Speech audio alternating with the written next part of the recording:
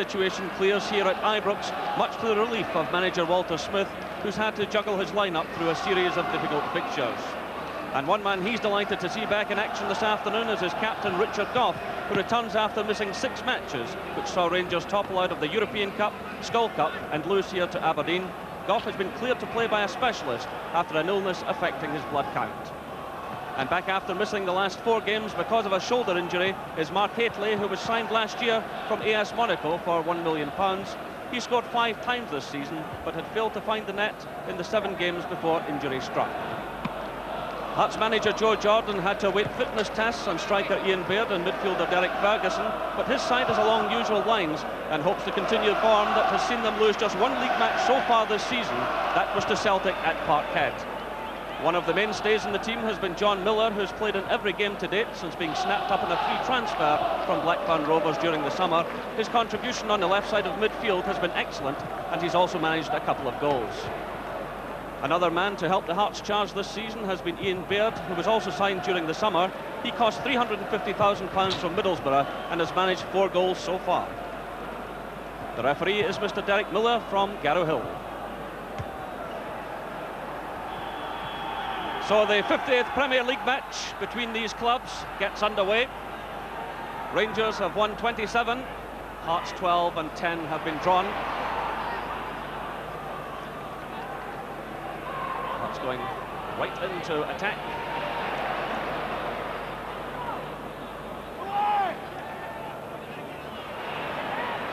Challenged by Richard Gough, Rich Mackay. Oh, a tremendous shot by Gary Mackay into the side netting. Well, what a start by Hearts. Richard Gough trying to clear the ball. It broke there to Gary Mackay and his shot into the side netting with Andy Goram diving across his goal.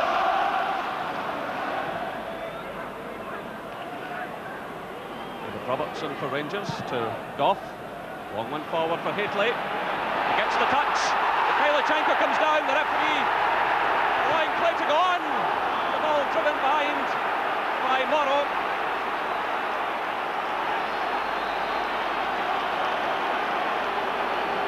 The referee waving away the penalty claims by Rangers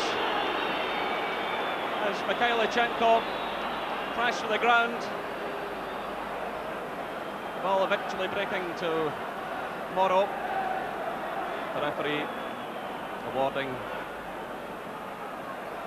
a kick to Hearts.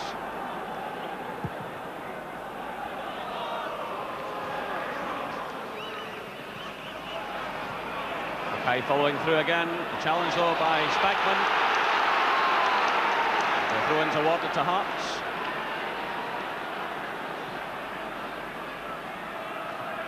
Okay, clipping it forward. Derek Ferguson through to John Robertson. Still Robertson. Well, Nisbet failed to cut out the ball at the last moment, and uh, David Robertson doing just enough to put off the Heart striker. You see Nisbet just missing the tackle, and then the foot of David Robertson doing enough to get the ball back to Goram. It's Mikhailichenko with Hateley and McCoist racing through the middle. Robertson coming in support. Hateley forward, looking for McCoist. Well, there's some good defensive work there by Derek Ferguson against his old side.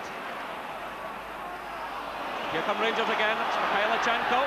Great ball to Ali McCoist. Oh, a terrific save by Henry Smith, and it's swept behind by Tosh McKinlay. Well, good play by Rangers. Excellent goalkeeping by Henry Smith. A terrific ball there from Alexei Mikhailichenko into the path of Ali McCoist. Looked certain he would score and then Henry Smith bringing off that save.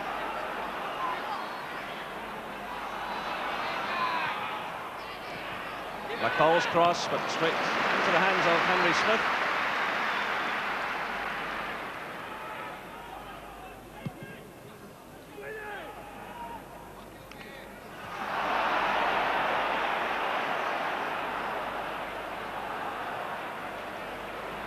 McCall to Stevens. Again looking for Hateley. Well, Henry Smith does it again. What a tremendous season this man's having. He's had eight shutouts in 15 games. An unbelievable save from Hateley, point-blank header, high into the air, and then Ali McCoist's driving a ball right across the face of the goal. That's Gough. Nisbet to McCoist. Well, he gives it away. And it's duly returned to Rangers. The free kick there against Tosh McKinlay for the challenge on Stuart McCall. The referee wants a word with the Hearts fullback. And the referee going over to have a word with the player, taking McCall from behind there. It's a word of warning for Tosh McKinlay. Mikhailichenko with the free kick. Well, Baird setting it up there almost into the path of Hateley. Well, forwards can be a bit of a menace in their own penalty area, and this almost rebounded on Hearts. The ball coming off Baird, and it was Levein keeping a cool head.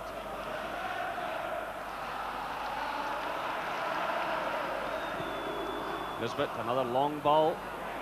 Nigel Spackman's there. Play by Spackman. Mikhailichenko!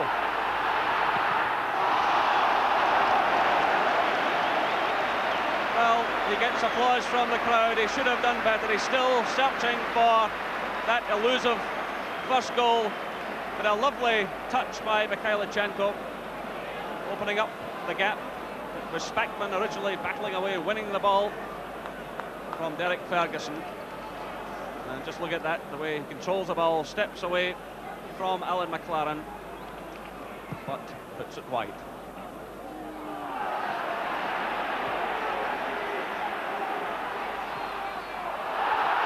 Well, a lunging challenge there by John Miller on Scott Nisbet. Referee allowing play to go on. But he really is going to have to step in and take some action here because the challenges are getting heft there by the moment.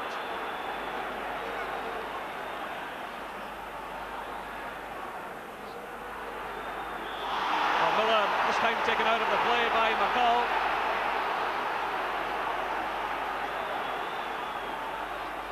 The referee wants a word with the Rangers player. I've got to say Miller's quite fortunate not to have been spoken to for that previous incident. A word of warning there from the referee for McCall. The Rangers line up the defensive wall.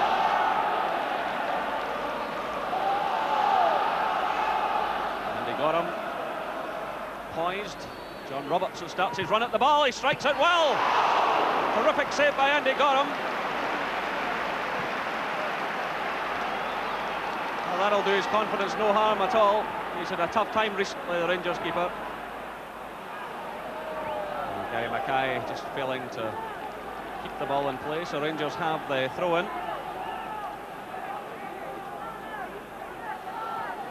in. Hateley being closely watched by Levein. It's McCoist, lovely touch by McCoist to McCall. He's trying to find the opening. Pursued all the way by Miller. Here's a chance for Morrow. And good brave goalkeeping by Henry Smith. Well, what a chance there for the youngster. It was great play by McCall, but also excellent play by Miller, who chased him all the way across the penalty area. Lovely little touch there by McCall. And Henry Smith, brave goalkeeping, diving at the feet of Morrow. Well cut out by Nisbet. And the free kick against Scott Crabb for his challenge on Nigel Spackman. Well, Temper's getting a little frayed out there. But neither side will want to lose a goal at this stage, just before half-time, after what's been a very combative first half. Referee having a word with the Hearts player, He's possibly a bit frustrated because uh, he's been very quickly shut down throughout this first half. There's not been a lot of space for the strikers. Now you can see the challenge being made. But now it's Rangers coming forward. Gary Stevens. And the ball into the back of the net. Ali McCoist there charging in with Gary Stevens providing the cross. Well, what a time to score a goal. Just seconds left to the interval. Ali McCoist taking the salute of the crowd. It was Gary Stevens galloping forward. He did well to get to the byline. He cut the ball into the path of McCoist, who, under a challenge from Craig Levein, sent it high into the back of the net. McCoist's 10th goal of the season. Rangers 1, Hearts nil.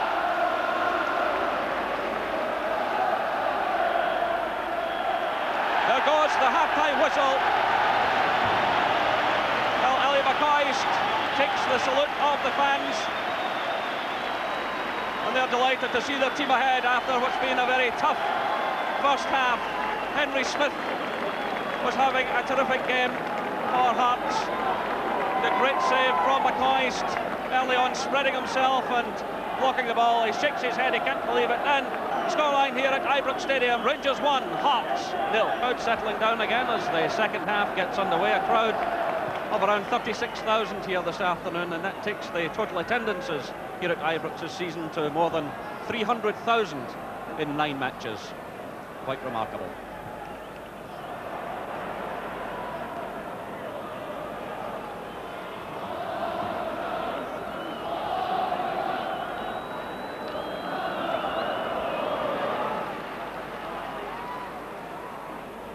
Again, Miller in there battling for Hearts. Paul holds off the challenge. Pavlyuchenko with a slight pass. The call now to Hateley. Mikhailichenko, he must score! Again, it's Henry Smith who Hearts rescue. Well, still chasing that first goal. Again, creating space for himself. But Henry Smith stepping in again. Meanwhile, John Miller has been booked by the referee. And spoken to earlier. So Gary Stevens with the throw. Call trying the shot. Well, claims for a penalty, but the referee rightly waving play on. The ball struck the chest of Miller. Here come Rangers again. It's Billy McCoist. Hateley leaving it. Mikhailichenko! Well, he does it at last.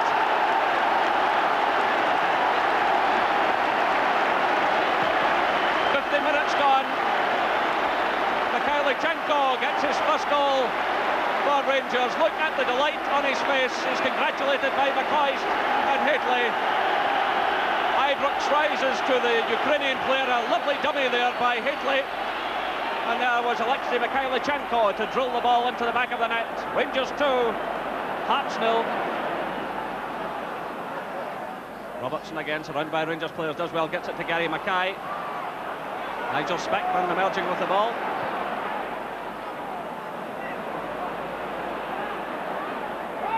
Hearts have the throw in. Hateley making a bold challenge to keep the ball in play.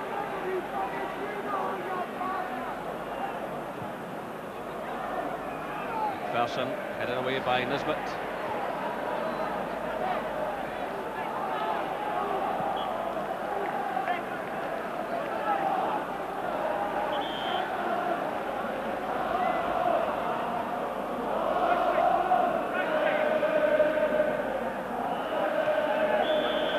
Free kick against Hateley for his challenge on Tosh McKinlay. Hateley holding off one challenge, then following right through on the Hearts fullback.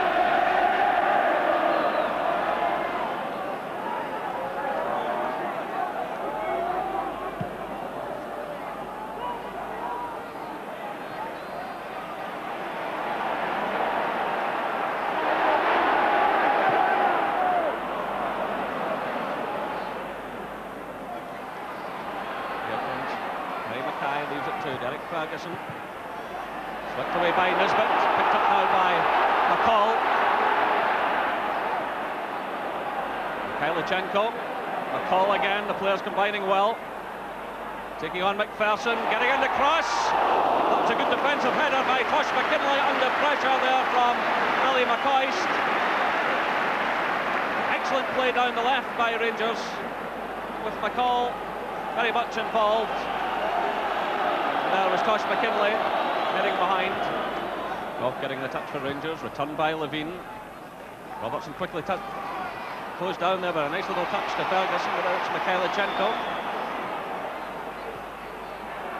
Hateley challenged by Levein, who follows through, and Mikhailichenko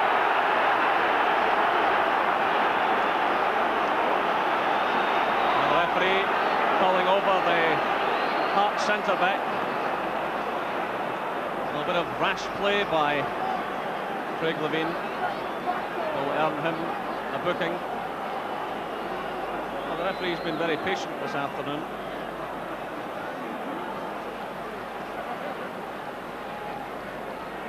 So the yellow card is shown. McLaren stepping in ahead of McCoist to concede the throw-in.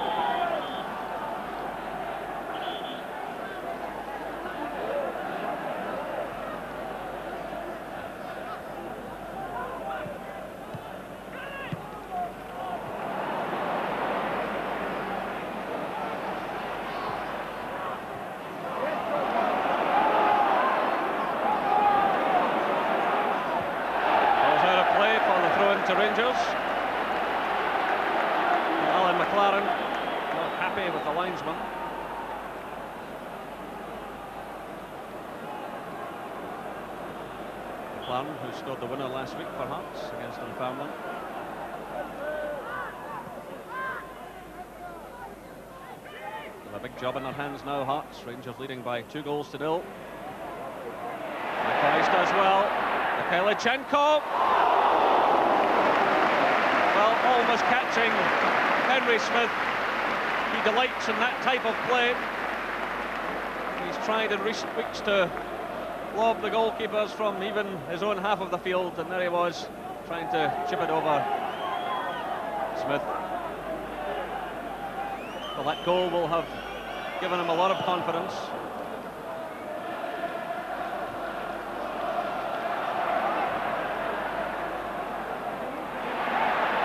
By Ali McCoist. Hateley's in there. Good brave play by Mark Hateley. He was shadowed all the way by Craig Levein. Excellent cross by Ali had taken on the defender.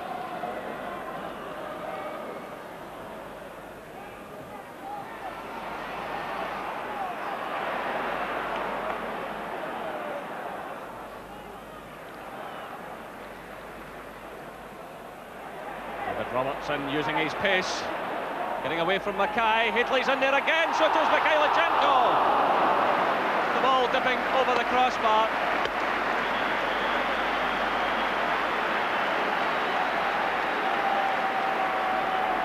Again, Mikhailichenko looking so dangerous. Hateley launching himself at the ball. So Scott Crabb has gone off. And Steve Penney comes into the fray. Well, he's played a few first-team games this season. Archie Knox and Davy Dodds there in the Rangers dugout. They must be quite happy with what's happened so far. Peter Huistra again warming up in the foreground.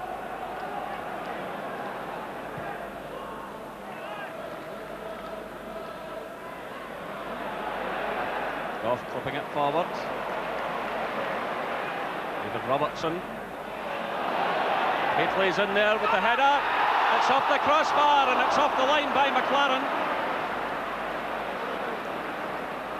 Well, Hateley denied again, this time by the crossbar. And Alan McLaren did extremely well to hook the ball away.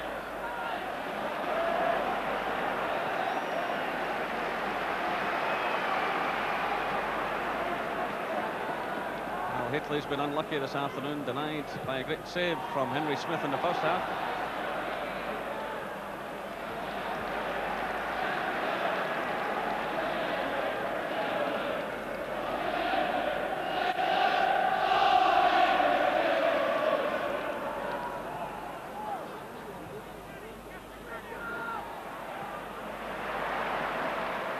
Robertson racing forward again, another good cross, Morrow's in there! Well, a downward header. Taking a tremendous bounce there, right over the crossbar. Oh, what a chance for the youngster to score in his home debut. Superb cross again by Robertson, who's finding more and more space. The downward header beating Smith, but going over the crossbar. Free kick against Derek Ferguson for that challenge on Nigel Spackman. The referee is going to book the Hearts player.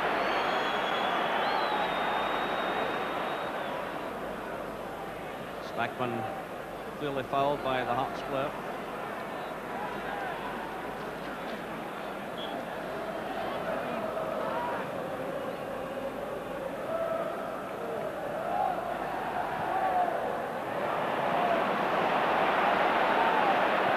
Spackman, a good ball through to Morrow.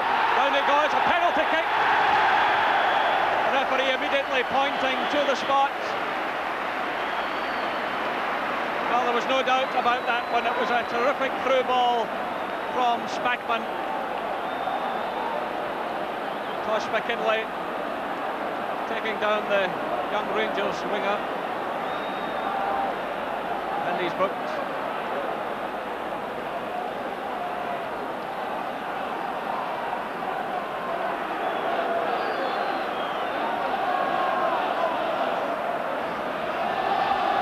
McCoist take the kick.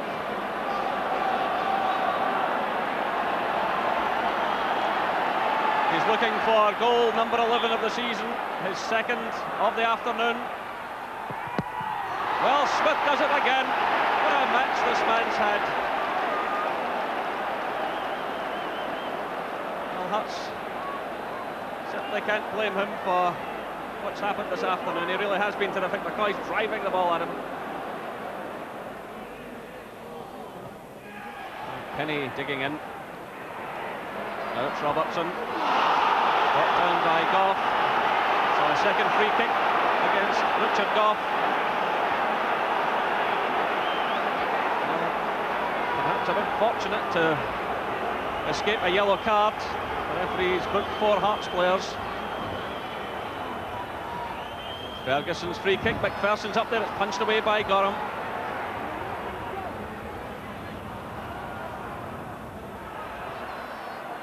John Miller. Well, not a bad effort, but again, confident handling by Andy Goram. So we're inside the final minute of the match.